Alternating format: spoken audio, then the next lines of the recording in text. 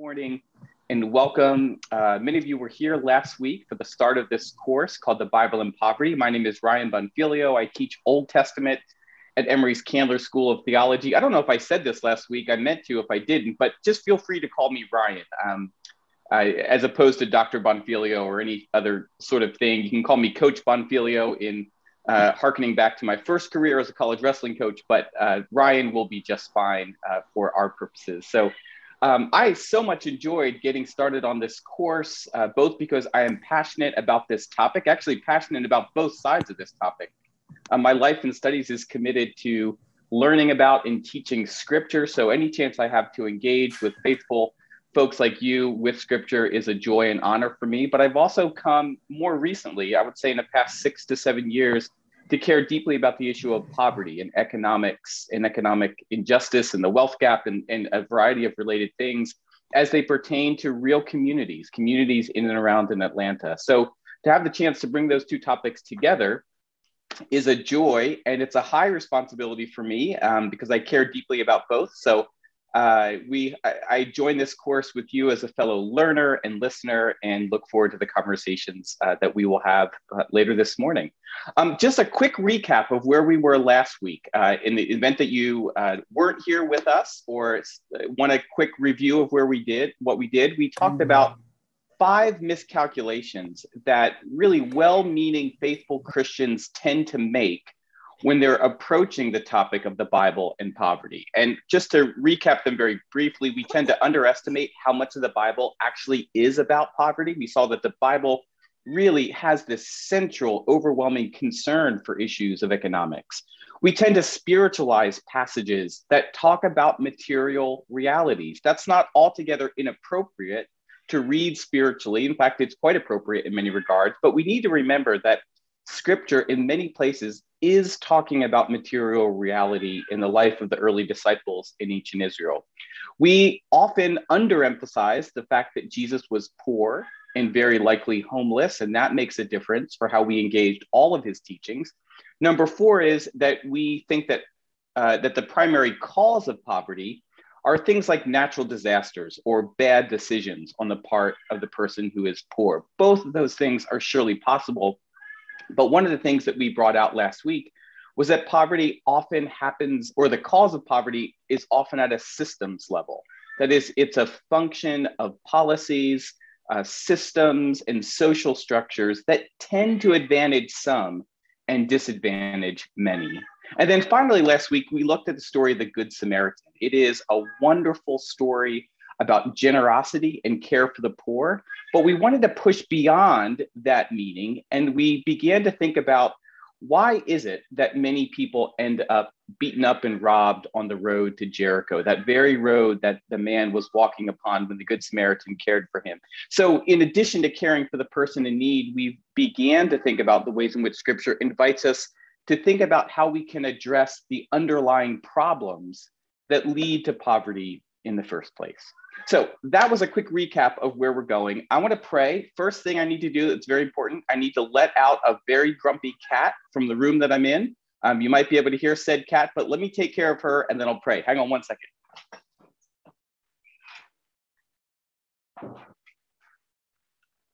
Now, chances are in five minutes, she's going to be meowing to get back in the room that she so desperately wanted to leave just a second ago. Uh, but with all that said, let me pray. And then, friends, we're going to see some other cats in the room. It's good to see them. Uh, let's pray, and then we'll go ahead and get started. Please join me. God of mercy and grace, we are glad to be gathered this morning. We are glad to be safe uh, in a world that is fraught with uh, disease and viruses and violent weather and so many other uh, challenges and struggles and pain and grief. We pray, O oh Lord, that you continue to bring wholeness and healing to our world, the world that you love so much, and that you bring wholeness and healing uh, into our, our own lives. God, we pray that we enter this time with open minds and open hearts as we explore together uh, the connection between your sacred scriptures and the communities that we are called to love and serve. We pray all of this in your name. Amen. All right, friends, uh, let me go ahead. This is always an adventure. Let me go ahead and try to share my screen. I have an alternative way of doing it this week, which I'm hoping works a little bit better. We ran into some snags last week. So let's see how this goes. Can you uh, see my screen right now? You should uh, see some presentation slides. Did that come through? Yes. Yes, good, good, good, good. Okay, um, excellent. I have lost you. I don't know where you all went. Um, so hang on a second. You would, I really do this every day, all day. So the fact that I sometimes get lost in this is really uh, amazing to me. But let's go ahead and uh, get started. Oh, the first thing I want to do before we jump into today's topic, which has to do with the Bible and law, I want to just offer some further uh, things that you might continue to read either along with this course or after this course. If this topic piques your interest and imagination, I would recommend all of these books or any of these books to you. So there's a few that you see on the screen there. One is the one that I've officially recommended for this course called Covenant Economics. It offers a 30,000 foot view about the ways in which the biblical idea of justice and covenant is connected to economic systems. Um, uh, the second one that I find really good, in fact, that I almost recommended for this course was Walter Brueggemann. Many of you probably know him, a long time uh, and prominent Old Testament scholar who previously taught at Columbia Seminary. His book, Money and Possessions, is really, really great. It's not just about the poor and poverty, it's about the topic of wealth and material possessions more broadly in scripture. It would be a wonderful reading companion for this course. It's about two times longer than the Horsley book. So uh, I hesitated in assigning it just for its length, but it is well worth it, especially if you know the writings of Walter Brueggemann. Uh, you'll know how, how rewarding it will be to work through that material. Uh, another great book is, uh, there's actually two, only one of which is shown. Uh, Toxic Charity and Charity Detox are both written by Bob Lupton. Bob, I've mentioned before, is an Atlanta based community developer. I think he's doing some of the most innovative work in the country in terms of economic redevelopment. Um, his two books, Toxic Charity and Charity Detox, really are great in terms of drilling into the practical dimensions of how to approach poverty, even in faith communities, in ways that are effective, just, and transformative. So if you're looking for sort of the next step in practices, those two books are great. And then finally, I recommend the book on the far right by Julia Dinsmore, it's called My Name is Child of God, Not Those People. Julia is someone I know. She has experienced poverty herself for much of the past 50 years. And she writes this beautiful first person account about her experience of poverty. Part of it's poetry, part of it's story. It's a beautiful book in its own right. And I think it brings us into closer connection to just what it is like to experience poverty. If that has not been your experience, uh, or someone that you know, it is uh, good to encounter uh, what that is like, especially from a first person uh, perspective. So, with that said, um, let me jump in. I'm actually going to stop sharing just for this first part of our conversation together. The first thing, so today's topic is we're going to be looking at the idea of the Bible or the what the law has to say about poverty. So we're looking at a particular part of Scripture. Now, the law is a pretty uh, flexible term, we'll put it that way. The Hebrew word for law is Torah. And Torah in the Jewish tradition can mean the first five books of the Bible. So Genesis, Exodus, Leviticus, Numbers, and Deuteronomy. Now, if you're familiar with those five books, you'll know that those books include things other than kind of law in the narrow sense thou shalt and thou shalt not. It includes stories and narratives and genealogies. So, generally speaking, we're going to be looking at those first five books, following the Jewish lead of thinking of that as Torah. But more specifically, we're going to be looking at law in a narrow sense of the term, which by which I mean specific collections of things that sound more like laws to you and me, things that say you shall do this, or if this happens, Cecilia, then this, or Leslie, thou shalt not, or thou shalt. So things that sound more like legal terminology are collected in various parts of uh, the first five books of the Old Testament. So we're going to narrow in on those topics and try to uh, get a better sense of how they work. Um, so that's that is in terms of where we're going to be focusing uh, this morning. We're going to be going in and out. Unfortunately, because of time, we can't do an exhaustive look uh, at these topics. As fun as it would be to do so, we only have a, a limited amount of time. So we're going to look at a, some sample laws, and we are going to uh, to get a better sense of how all of this works. Let me uh, share one other thing with you. And I am going to go back to share screen. Sorry for jumping in and out here. I think uh, this should do it. Hopefully we won't lose contact again. Um, I'm having a problem here. Hang on one second. I apologize for this. My solution uh, to sharing is working, but it's also preventing me from seeing you. So that um, that's not great. So let, let me try to fix this. And we will, let me try one other thing here. I know I'm going to figure out Zoom completely the day after the pandemic has ended. Yeah. Uh, and I'm like, I got it. I know how to do it now. Uh, okay, let me try this one other thing. Okay, let's try this. All right. Uh, can you all see my screen still? Yes. Okay, thank you. All right. So let's um, let me want, mention one other uh, preliminary matter with respect to the law, and that is it's a, it's a, I want to mention something about how we make a connection between these ancient laws and contemporary practice. This is an important matter. Very often, um, we can't make a simple one-to-one connection. The Bible says this, so therefore we should do this with respect to poverty. And the reason for that is not because the Bible isn't authoritative or we don't take these laws seriously.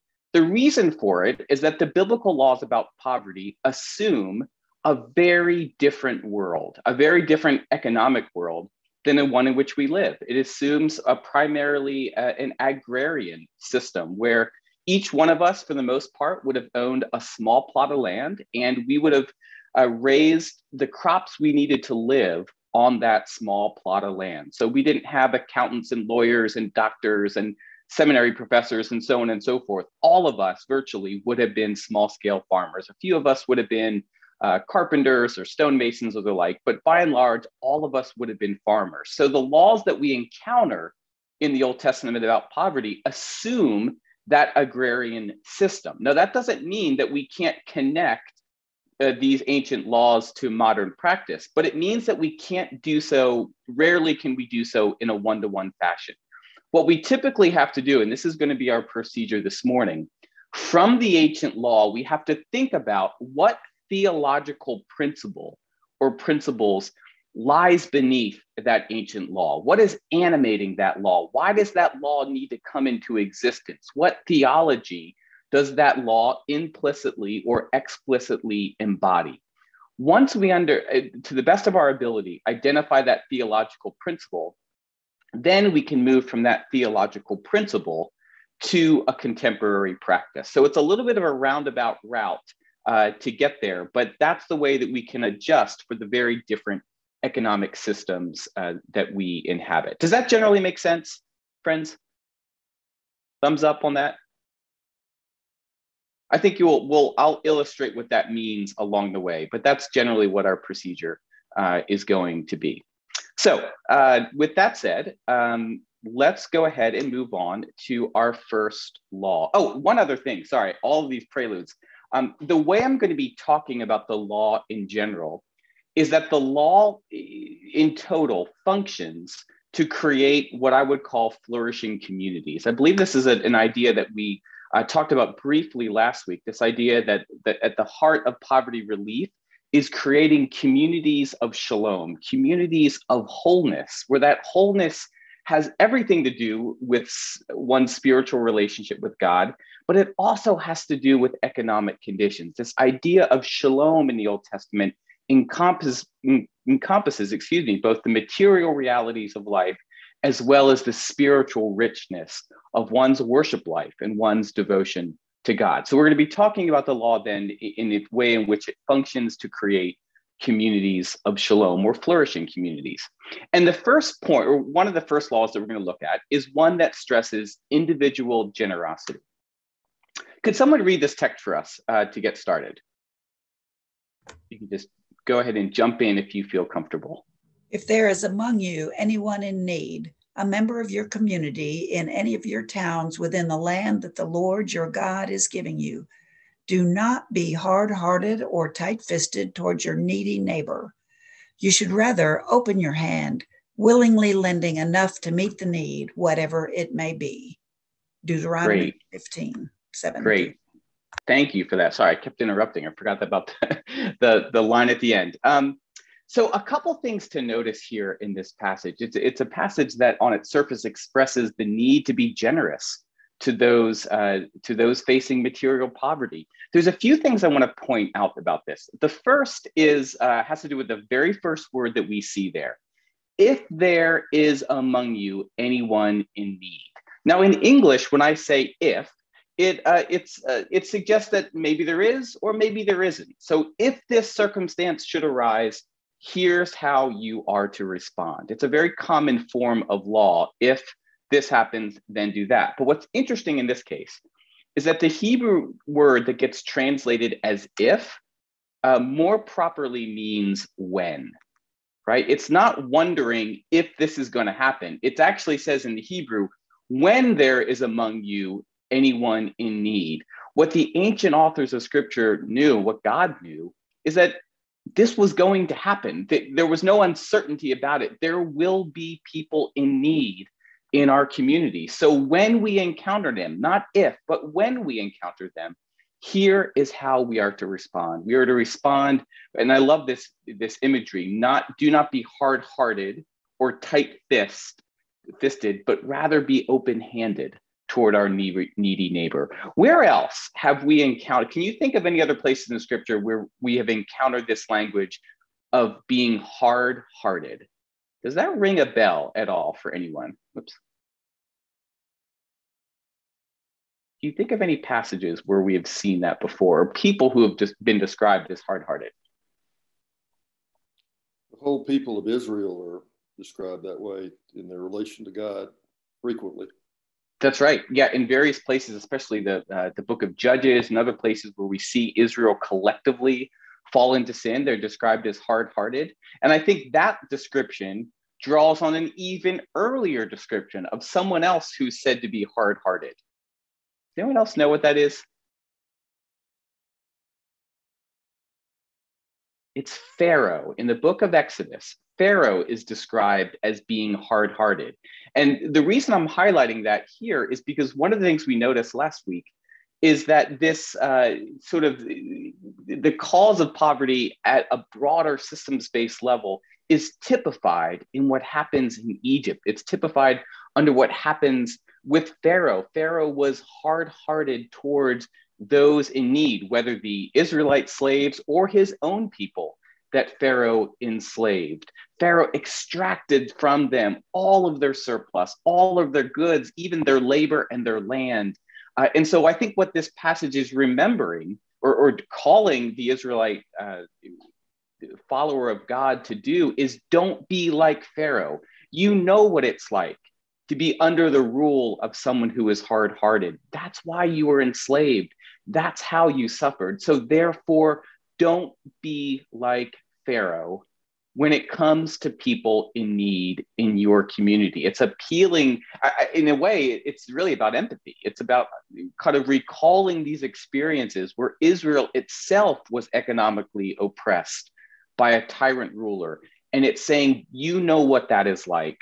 Don't do it. And don't be hard hearted or tight fisted, but rather open your hand. And that's such a beautiful imagery of, of um, of generosity is the idea of an open hand.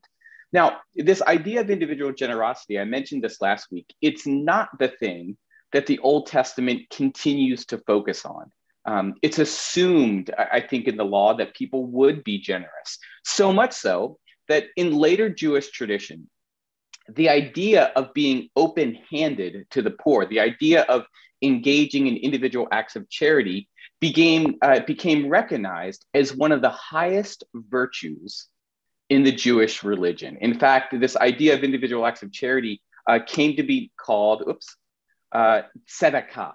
Uh, the act of caring for the poor was a, called an act of tzedakah. And that word that you're hearing there, it's a Hebrew word I've transliterated into English. Tzedakah means righteousness. So to care for the poor in the Jewish tradition is an act of righteousness. It's a fulfillment of the law. And one of the really interesting things is that in the centuries leading up to the time of Jesus, in the Jewish tradition, caring for the poor, the, the poor, that act of tzedakah was thought to be more important than any other law in all 613 laws in the Jewish tradition. This act of caring for the poor was the most important law. In fact, um, at about the time of Jesus, this was so much the case that caring for the poor in Judaism was seen as a fit alternative to offering sacrifices at the temple.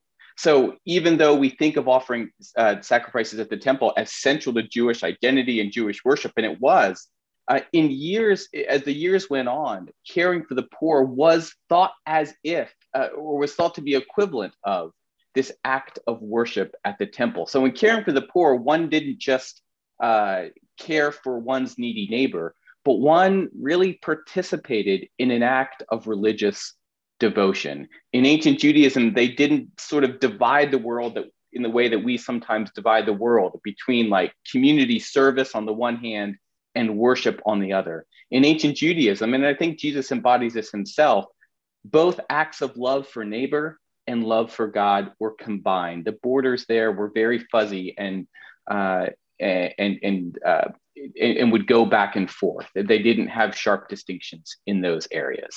So here we are at this this idea of individual acts of charity. It's at the core of what the law has to talk about. But most other laws in the Old Testament actually go on to talk about addressing poverty at a more uh, really more at the level of causes, or maybe a better way to say it is that uh, most of the Old Testament law focuses on how the community responds to poverty, not just how individuals respond to poverty, but how the community as a whole responds to poverty. And we get a sense of this here in this second law that I'm about to highlight. Uh, and it's a law about gleaning. We're going to look at a passage from Leviticus uh, 19, 9, and 10. And I'm wondering if someone uh, might read that for us as well. I will. Go. Great, thank you. When you reap the harvest of your land, you shall not reap to the very edges of your field, or gather the gleanings of your harvest. You shall not strip your vineyard bare, or gather the fallen grapes of your vineyard. You shall leave them for the poor and the alien. I am the Lord your God. Great. Is this a familiar passage to you? Have you all heard this before? Yes. Now, I know I know Leviticus is not exactly the most favorite book of most Christians in the Old Testament, uh, but maybe a law like this uh, has you've heard it before. It's actually uh, if if you're familiar with the book of Ruth, this idea of gleaning in the field actually plays an important role in how that narrative develops because the Moabite Ruth goes to glean in the fields of um, or Naomi uh, and, uh, and Ruth go to glean in the fields of Boaz. And that's a big part of that story hinges around that. So catch what's going on here in this ancient practice. This is your plot of land, right? Uh, so Tom has this land. It's been in his family. He plows it. He pulls the weeds. He plants the seeds. He cares for the seeds. Now it's harvest time and it's his land. He did all the work.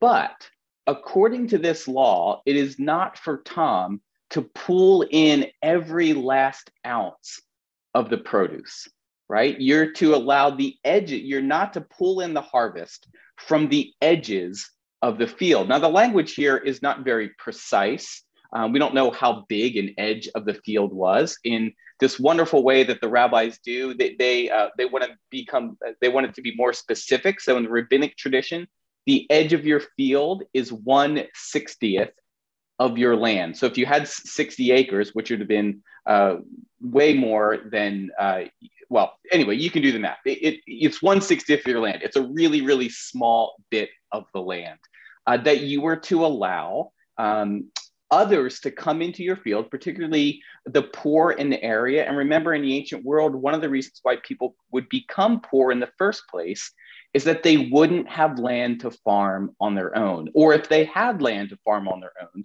maybe their crop was ruined by hail or pestilence or uh, flood or some other natural disaster that left them without the staple crops they needed for subsistence farming. So, in those conditions, everyone, every last one of us, one of us was to leave the very edges of our field unharvested.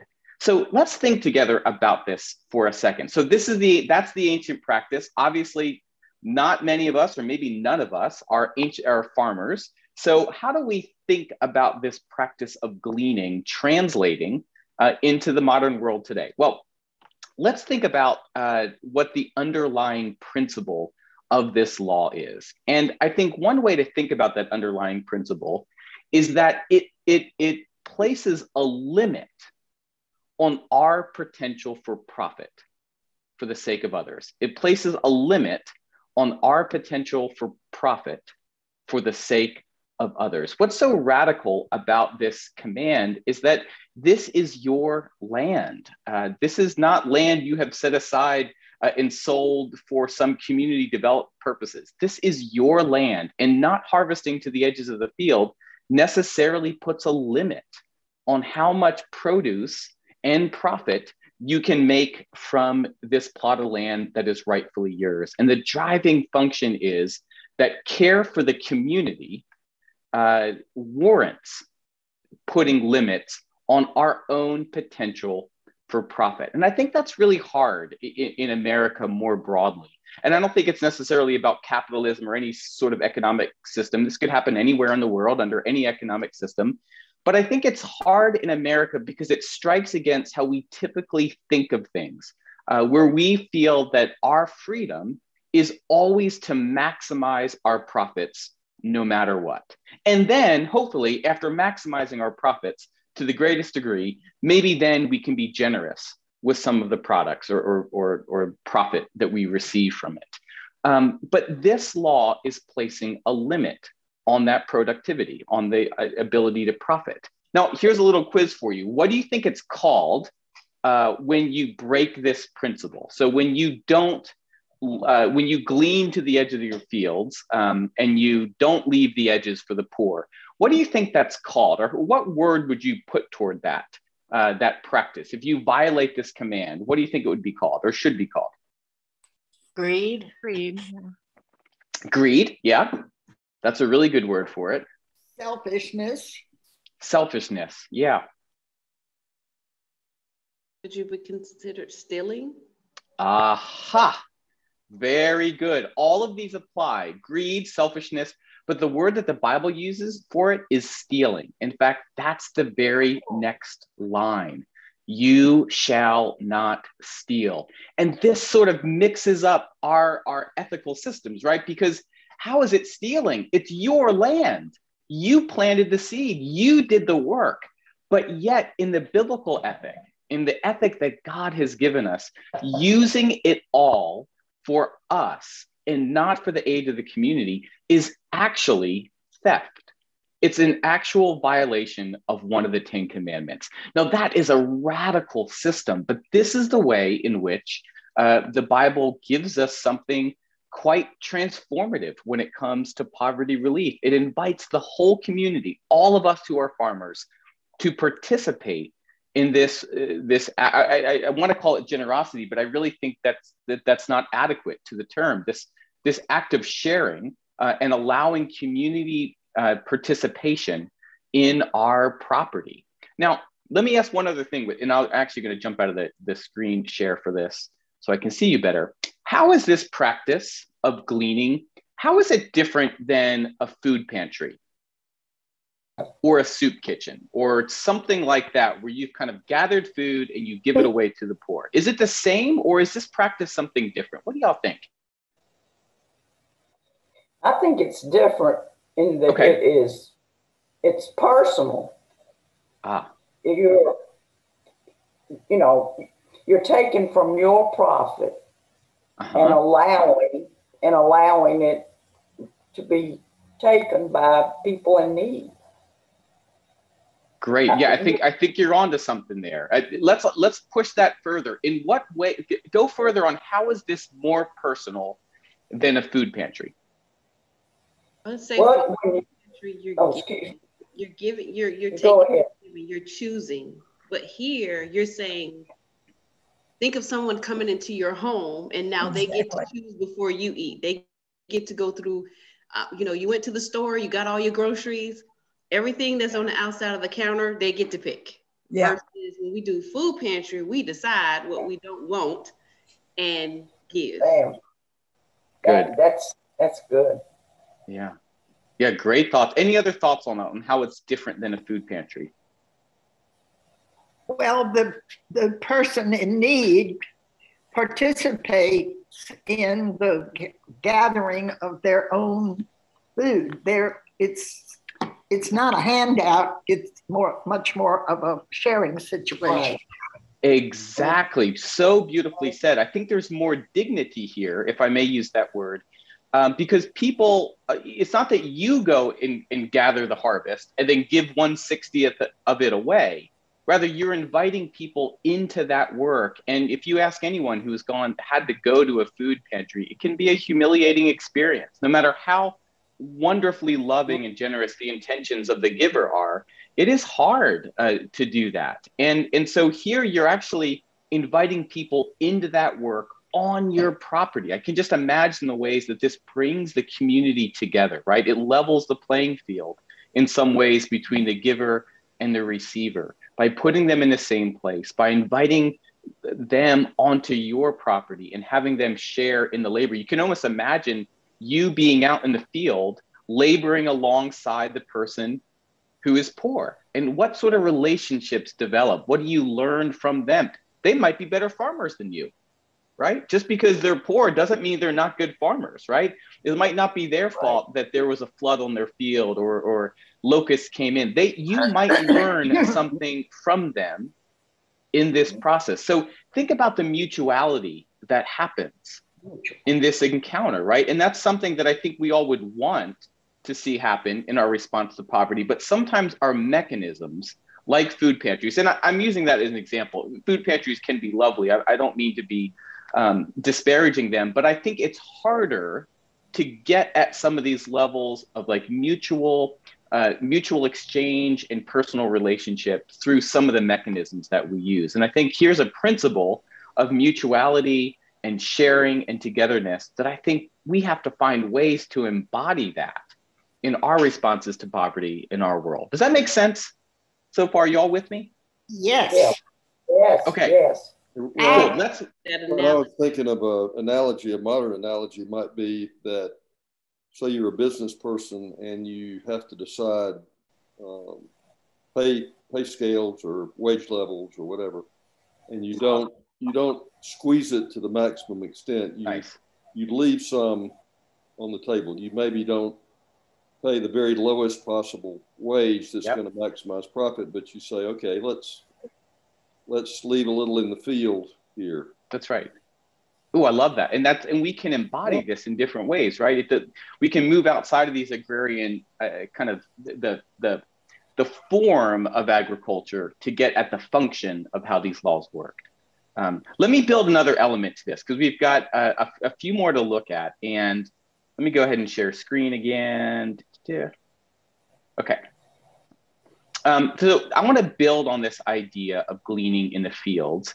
And I want to go to the, to an aspect of the tithe. Now, you all know what a tithe is, right? It's in the, the ancient Jewish tradition, it was literally giving one tenth of your earnings from the year. Now, that wasn't cash earnings in the ancient world. It would have been produce, right? It would have been one tenth of your crop, one tenth of your wheat or your olives or your grapes or something like that. It was one tenth of your uh, production that you gave to the temple, and the temple would use it to support the priests. And the reason the priests needed actual food is because priests in Old Testament law they didn't have land of, the, of their own, right? So they were not small scale farmers because they were called to do the work of temple ministry.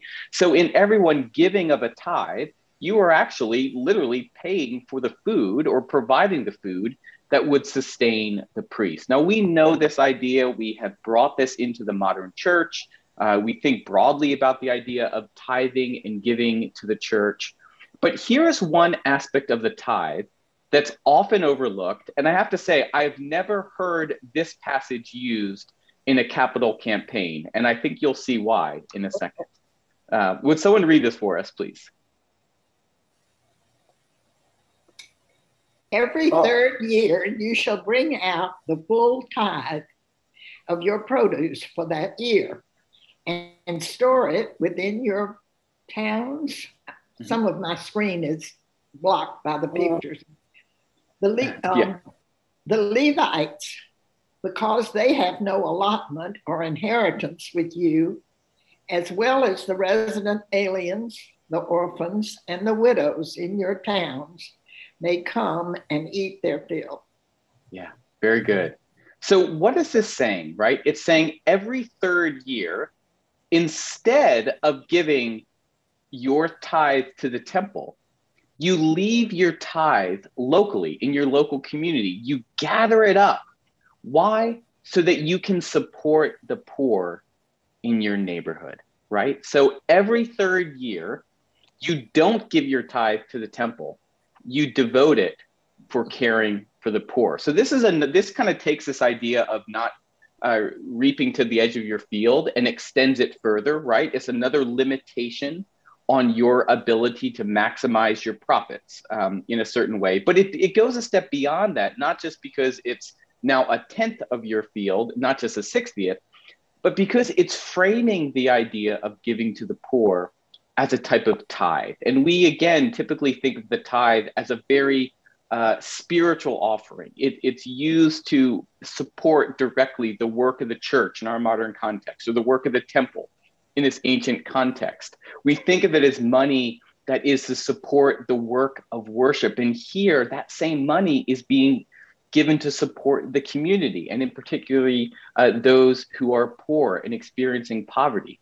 And I think in doing this, what it does once again is to blur those lines between church and community or the sacred and the secular. I, in fact, I think those sort of divisions that we often have um, would have been really strange and foreign to those who wrote and read scriptures long ago. They would have understood giving to the poor as something deeply spiritual. They would have understood that giving to the poor in this way in that third year was an act of worship and devotion to the temple. And I think the temple would have understood and expected that not all of the tithe um, would go to them. Um, now, there is a practical matter here about, well, what happens in the third year when no one sends any of their tithe to the temple and everyone keeps it locally, right? I mean, the, the priests need to eat, and that would be a problem. So, what I suspect, friends, is that not every town and village was on the same synchronized system. So, you know, if Buckhead in 2021 was giving was keeping its tithe for the poor, maybe Dunwoody in 2022 was doing that, and in 2023, um, Atlanta proper was doing that. So there was sort of a, a rotation such that in any given year, two thirds of the people were giving their tithe to the temple, and one third of the people were giving their tithe to support the poor. So I don't think it ever left the temple with what uh, without what it needed to to exist and to thrive. But it also meant that at any given time, one third, for to like to use a modern term, of charitable donations were going to the poor. And that was in addition to this law on gleaning. So it's beginning what you're seeing here is this larger community effort uh, to provide a network of support uh, for people who experience poverty. And remember, back from that Deuteronomy passage that we started with, it, it, there wasn't a wondering about if someone would be poor or if the, the issue of poverty would exist. They knew the issue of poverty would exist. And so these are the ways the Israelite community begins to structure its society and its way of being to systematically uh, support those who are experiencing economic disadvantage. So does that make sense so far? Any questions on on that one, the triennial tithe?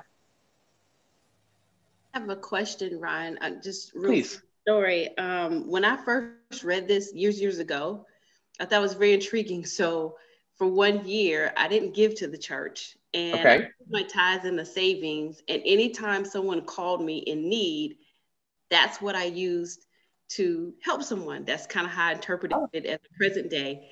And it was amazing that people who probably, ne- and I was a single parent with two kids, and people who never would have called me, I think that when you do things that um, you know God brings things to you, and just people who would have never called me would call and say, "I just need help with my electric bill. You know, any right. way possible you could help." And I was able to bless a lot of people that year when I did that. So that's just kind of how I interpreted it when I read it. Great, thanks for sharing that. Any other comments or questions about this one?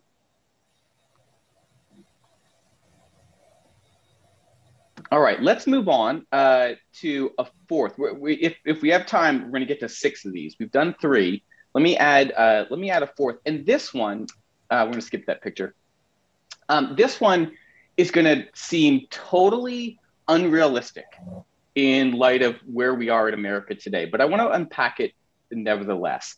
There are laws in the Old Testament. In fact, it's repeated in numerous different law codes that prohibit charging interest on a loan. Now, my family, we just refinanced our house, as I'm assuming a number of you might have considered doing so, with the incredibly low interest rates uh, being around, what is it now, three or maybe even lower in some circumstances. It's, it's crazy. But in the ancient world, and this, according to this law, there was a prohibition against charging interest on any loan.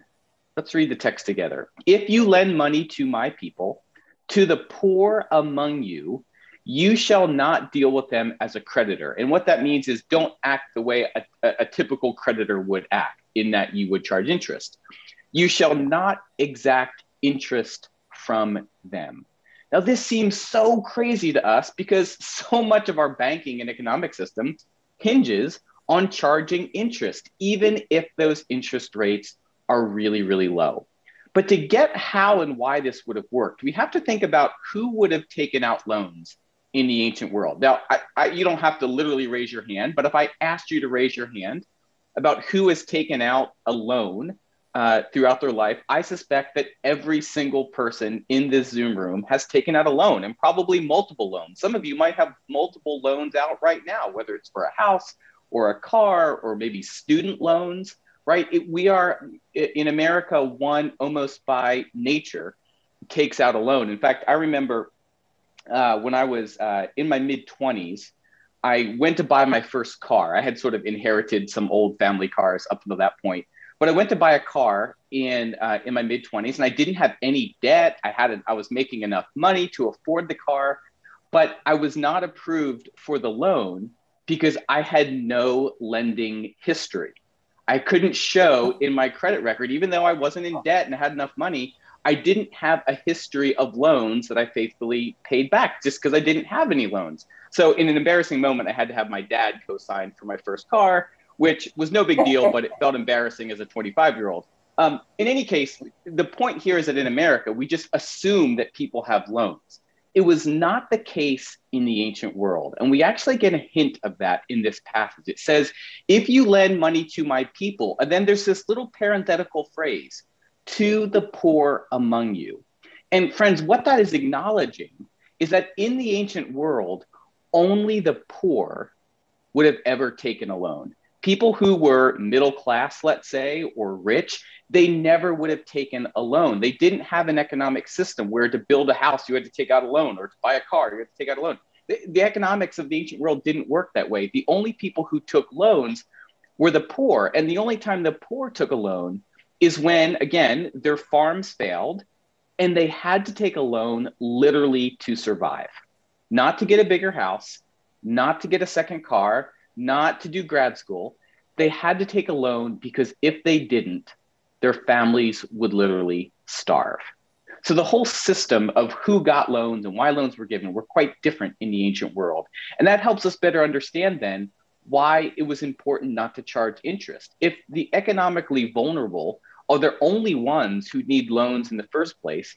To put high rates of interest on those loans would have been absolutely devastating. And we have records from Mesopotamia and other parts of the ancient Near East where the loan rates were astronomical.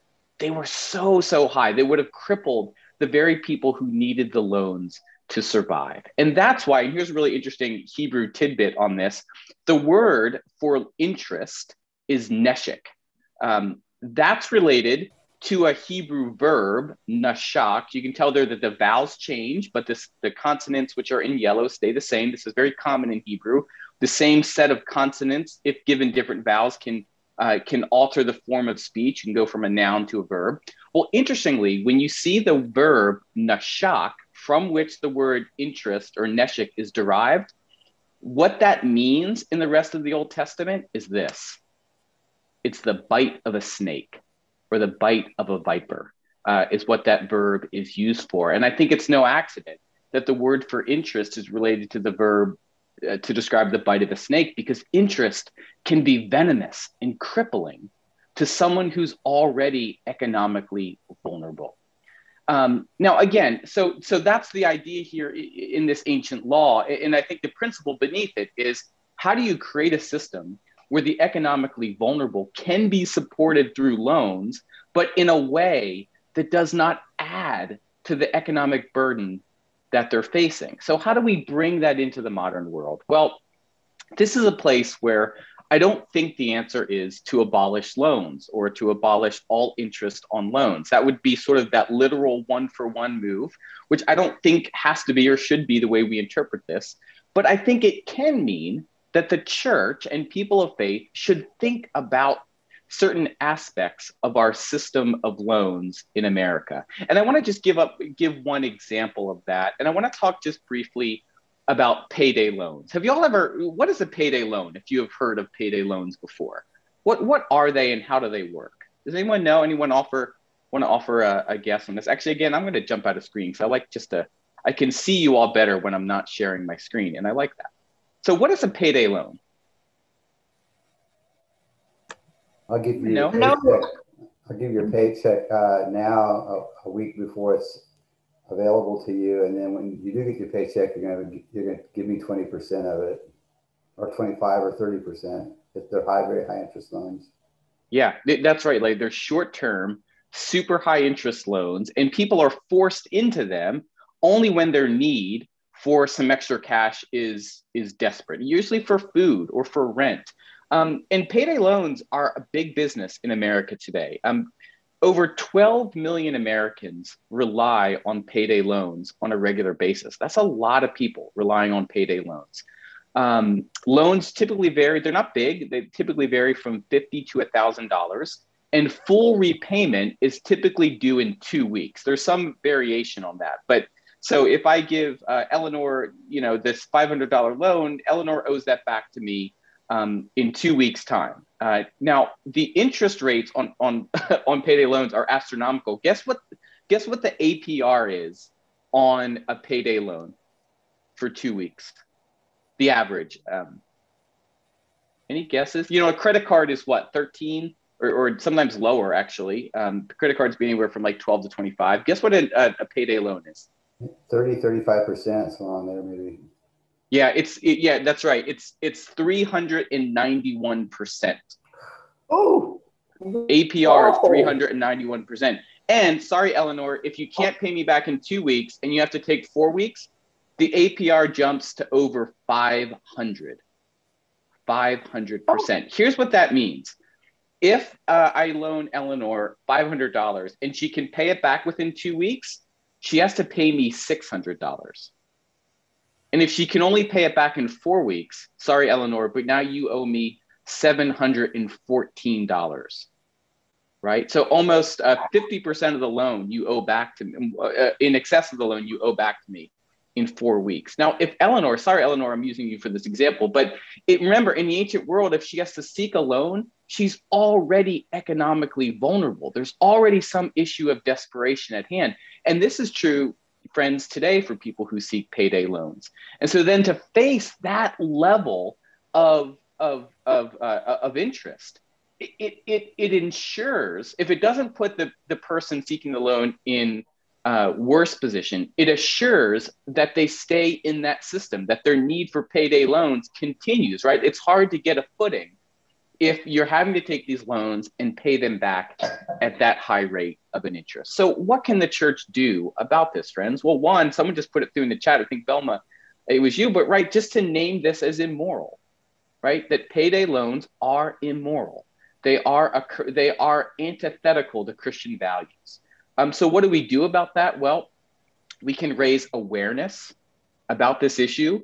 Uh, depending on how you, if your church feels comfortable with this or you as an individual feel comfortable with this, we can advocate for changes to laws uh, about payday loans. Or uh, there, I've even seen churches do this, not many, but a church I work with in Orlando, St. Luke's uh, uh, United Methodist Church, which in my mind is like the Trinity Pres of Orlando, uh, in just in sort of the how I know that church and, and its makeup, it has essentially created a micro loan system for its community.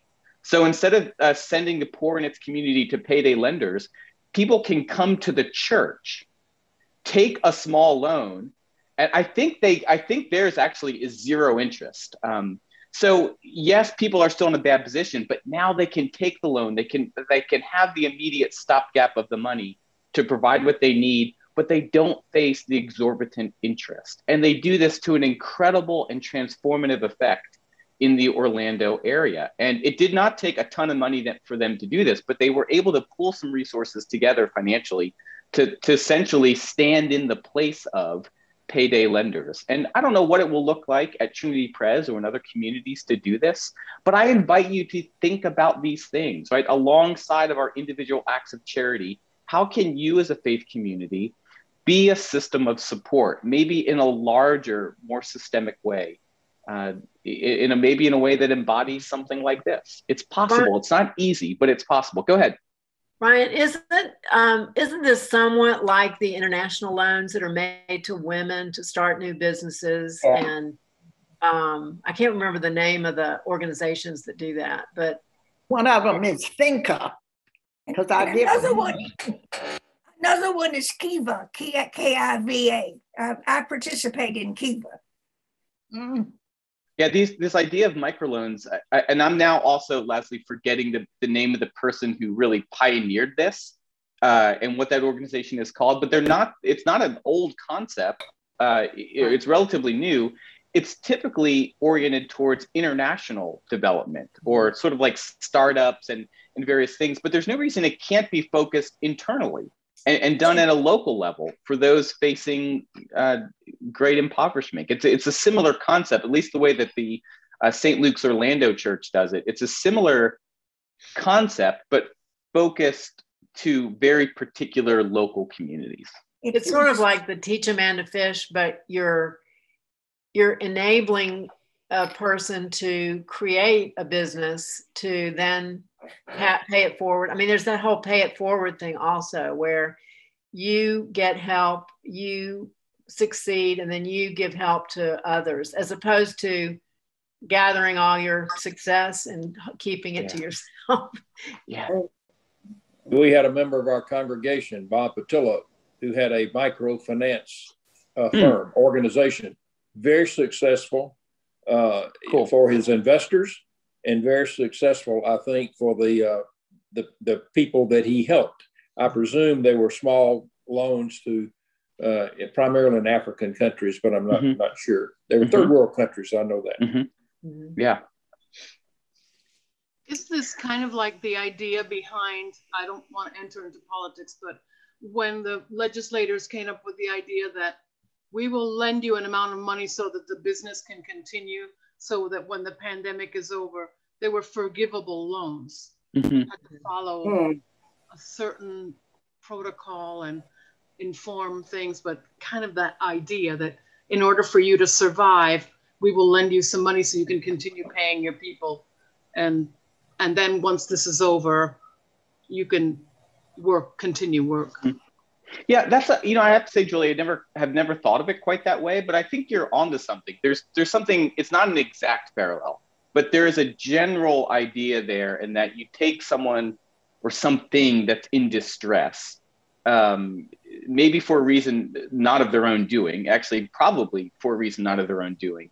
Um, so maybe it's different than sort of the bank bailout, where the banks were sort of now this is maybe getting too far into economics, but one could argue that the yeah. banks were more culpable for their position. Um, that's debatable, perhaps, but uh, it's a situation where you're trying to help someone out of a, a, a out of a, a, ditch, just to give them a level playing field. And, and that's how it is with poverty so often that poverty is a, uh, is a, it's not just a lack of something, but poverty often is described in terms of entanglement. Like you get entangled in poverty, meaning that it's not simple to get out of it because one thing leads to another. Like if you, um, you know, if you if you have a car problem and you don't have the money to fix it, you might not be able to show up for your job. If you can't show up for your job, then you're not going to get your paycheck. If you can't get your paycheck, then you're going to lose your, your, you can't pay your rent for your apartment. If you can't pay for the rent for your apartment, that might have uh, ramifications for childcare, right? It's just like one thing leads to another. And I think the no interest loan idea in the biblical world, at least, is trying to short circuit that system of entanglement and give people a chance to get back on their feet. It doesn't guarantee that they'll flourish, but it's trying to, to uh, remove some of the impediments to such flourishing. Um, this is great, friends. Well, Again, yeah, go ahead. I have Sam. Uh, the Hebrew ethic of concern for the poor, concern about the well being of the community. How distinctive was that in the ancient uh, Near East world? Ah, and such a good question. What, what, and what is the origin of it? Uh, did God say X, X, X, and oh. therefore this is the way it's implemented? Could you mean, that's a general question. You may not want to uh, answer it now, but uh, I have it in wonder. Yeah, it is a great question. Let me try to answer it uh, quickly, although it's it's quite complex. So, in some ways, defense of or care for the poor is not uh, completely unique to the Old Testament. So, you could look, for instance, at the Law of Hammurabi, that 18th century Babylonian law code, and you will find in that law code certain uh, statutes that are designed to protect the poor. So that idea is not completely unique to the Old Testament. However, there are some things that are completely unique in the Old Testament. Here's one example. Uh, it, we haven't seen it yet, but we'll, I think we'll start seeing it next week. Um, the, when the Old Testament names the poor, it names three categories of people. It says the orphans, so people without parents, the widows, mm-hmm. and the strangers. And the strangers is a term, ger, that means non Israelite who has come to live in the land of Israel. We would use the word alien or probably better refugee uh, for that category. One distinctive of the Old Testament is that in Hammurabi's code and in all of the other ancient Eastern law codes, provisions are only ever there for the orphan and the widow the stranger is never included in the other law code. Mm-hmm. So nationality is a prerequisite for receiving care in the ancient world, but not so in the Old Testament. By including the stranger, it opens up the ethic of economic care to anyone, regardless of, they didn't think of citizenship in the way we do, but they with regardless of national origins cultural background citizenship and so forth. So that's one thing that is very unique about the old testament. The other thing is is this that there's far more. The density of concern for these laws is different. Um, there's more laws about the poor uh, in the old testament. And then finally the other thing the old testament guards against and this is interesting uh, particularly where we are in the world today uh, is that uh, another thing that the Old Testament does uh, that we're not going to have time to get to this morning is that it every seventh year the Old Testament stipu- stipulates that all debts are canceled. So not just that is there no interest, but every seventh year all debts are forgiven. So whether it's uh, Eve or Anne or Larry or Peggy, you have a you know you have a I have a loan out uh, in the seventh year the debt is wiped away. Now, that happened sometimes in the ancient world, but interestingly, in the ancient world, kings would announce the canceling of debts only when they were falling out of favor with their with their population. So a king was in trouble or the rebellions were popping up throughout the land and so the king as sort of a political stratagem would cancel debts so as to curry political favor.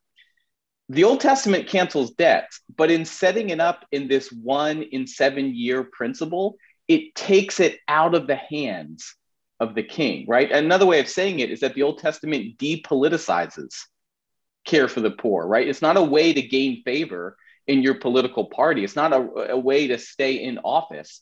It's something that has to happen every seventh year no matter what party's in office, no matter what king is on the throne, and no matter what the king's popularity is. So, Sam, these are just a couple of the ways where, though not completely unique, the Old Testament takes care for the poor uh, in in a in a more profound and more transformative way than we see uh, throughout the rest of uh, the ancient world.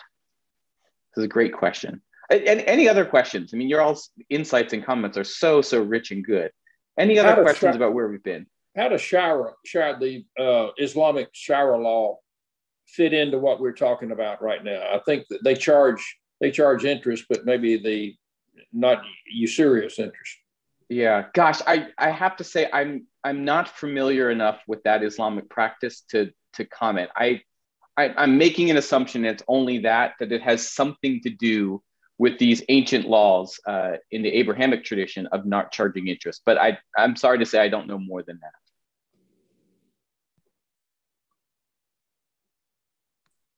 Now, friends, I know that I need to get you out of here because we're at 1046. Um, but let me, in my last word, let me just point to just some of the trajectory of these other laws. What we have seen this morning is only a small sampling of laws from the Old Testament that are designed to protect and provide for the poor. There's many other things if we had a lot more time we could have mentioned. For instance, the releasing of debts every seventh year. We could have talked about that. We could have talked about how every seventh year, all of our land is to be used for the care of the poor. So this goes beyond the idea of not gleaning to the edge of your field. It goes beyond the idea of the triennial tithe. Every seventh year, all of our land is to be opened up to the poor. Uh, every seventh year, slaves are freed, and slaves in the ancient world aren't like uh, our history of slavery in America. You became a slave because you were impoverished, so impoverished that you literally had to sell yourself as a worker, a non paid worker for someone else's land to work off your debt. Well, every seventh year, uh, the slaves are let free again and again and again. These laws that try to address the broader issue of poverty keep coming up in the Old Testament. And to go back to that idea we started with, uh, that of selective vision, if you go back and read through Exodus, Leviticus, Deuteronomy, and so forth, these laws are going to jump off the page to you because they are so many and they play such an important part of the law code. And to say one last thing, and, and further to Sam's point, the reason, the core of this ethical response to people in need, yes, it's love of neighbor. It absolutely is that.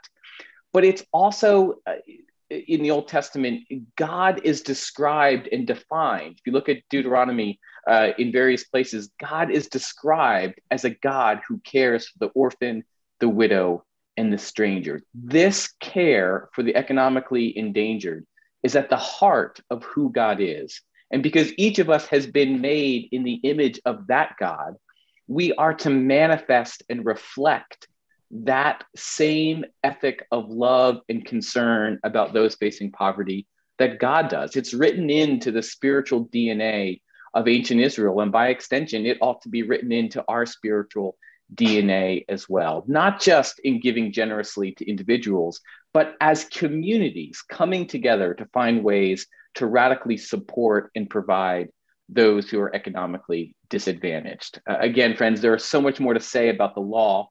Next week, though, we are going to go on to talk about the prophets. What do the prophets have to say about poverty? Um, and this is going to help continue our conversation about the law because very often the prophets are drawing on the law as they make announcements and pronouncements about the world in which they live. But the prophets also extend the ethics that we've encountered in the law to something larger and even more transformative than what we've encountered here. So, friends, that's the topic that we're going to turn to next week the Bible or the prophets, uh, poverty and the prophets.